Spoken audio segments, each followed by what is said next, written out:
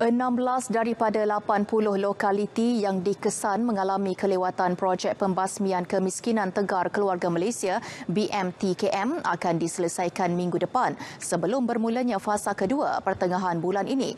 Menteri di Jabatan Perdana Menteri Ekonomi Datuk Seri Mustafa Muhammad berkata kelewatan itu berpunca daripada kos yang tidak berbaloi ketidaksesuaian projek selain projek yang makan masa panjang.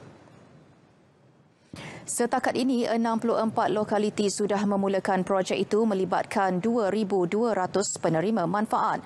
Mereka sudah menjalani latihan kursus sama ada memasak, menjahit atau berniaga. Jadi program ini akan dipantau dengan rapi setiap bulan. Beza dulu dan sekarang, dulu uh, mungkin dari segi pemantauannya kurang. Ya. Yang ini di bawah ADO. Ya. Ada ketua kampung, ada ahli parlimen. Uh, sekali sebulan. Ya, kalau ada masalah, akan diambil langkah-langkah uh, penambahbaikan.